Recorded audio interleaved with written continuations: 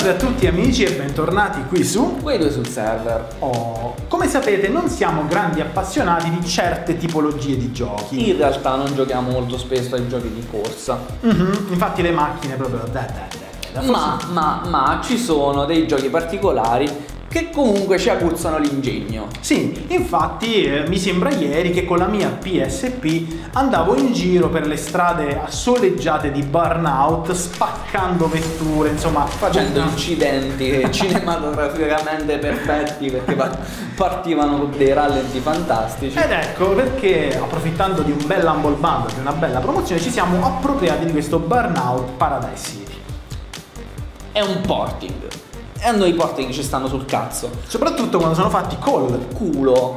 Eh, questo è uno di quei porting fatti col culo, non tanto dal livello grafico, anche se dobbiamo dire che le prestazioni visive del gioco rallentano con determinate schede video, quindi anche qui dipende da scheda video che avete, ma ad esempio nel menu quando cazzo mai vi siete mossi con F1 ed F2 tu mi devi spiegare non hanno neanche perché? tolto i dorsali del gamepad, cioè veramente triste. Perché non rendete i tutorial skippabili? A me non me ne fotte un cazzo di sapere che cosa devo fare, lo voglio scoprire e mi dovete mettere il tasto skip da qualche Ta- parte. aspetta, ca- ca- calma. Divento incazzoso se non mi fate skippare. Però ci sono tante auto, eh, però ci sono tante, tante auto e, e ci sono diverse modalità di gioco, ok? Allora, la modalità che, a cui noi siamo più affezionati una modalità forse la più ignorante, furia stradale. Dovete sbattere contro i nemici e farli uscire fuori di strada. Perché Paradise City? Perché si chiama Paradise City? Perché è il paradiso per, per chi vuole ammazzare e distruggere le automobili come Dio comanda proprio. Sì, ci sono anche degli accenni di trama, degli accenni di costruzione. E adesso Vabbè, insomma, all'inizio siete in uno sfasciacarrozze e dovete comprarvi l'auto. Già questa Sì. trama è, profonda, no? Come, Sì, come sì. tra- Dopodiché, poi, poi entri nel gameplay e capisci che di profondo non c'è un cazzo. Come no? No, non c'è assolutamente niente. No, Allora, devi no, no. aggiustare, devi andare dal meccanico. Tu dal meccanico quando ci lasci una macchina ci stai almeno due mesi. Cioè per, per aggiustare una macchina nelle condizioni dello sfasciacarrozze ci stai un paio di mesi. Lì invece ci passi, nel Dentro. momento in cui ci passi la macchina torna tutta a posto e è finito.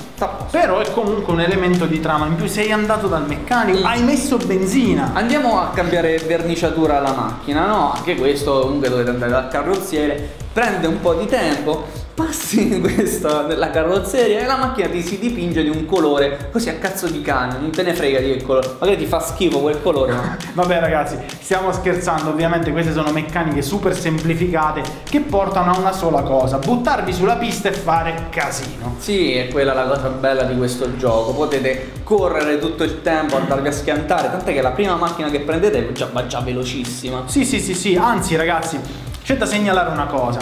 In questo gioco praticamente ogni cosa che fate, dallo scorreggiare mentre siete in auto al colpire un cestino dell'immondizia, vi sblocca degli achievements, così, come se piovesse. Sì, sì, ad esempio ci sono solo, solo 500 cancelli da buttare giù. Per farvi un esempio così alla buona. Per dire, no?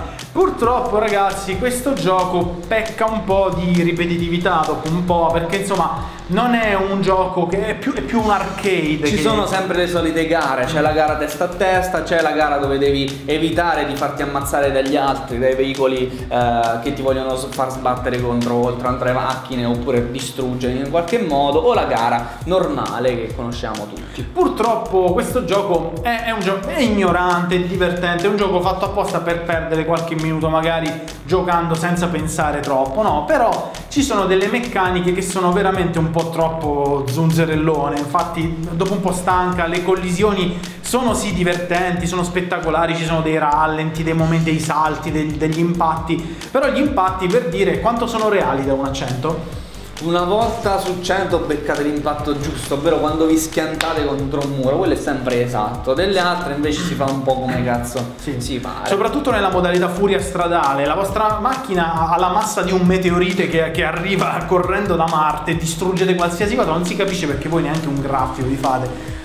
Insomma, ci sono, è però un gioco divertente, prendetelo, giocateci, correte su queste piste e non, non lo fate magari in strada perché sennò ammazzate le Sì, sì, è persone. un gioco per sfogarsi. Da segnaliamo anche, eh, però una, una feature che abbiamo provato molto poco, perché insomma abbiamo... ci abbiamo- È anche una DLC, quindi Sì. ci sono anche tantissimi DLC da scaricare, nuove piste, eccetera, eccetera. Quella Però- abbiamo anche le moto, però ce, abbiamo, ce le abbiamo provate davvero pochissimo perché una volta che, che, hai giocato così tanto con le auto, arrivi a sbloccare le moto, mm, da, da, da, cambi, stai su due ruote invece che quattro praticamente. Mm.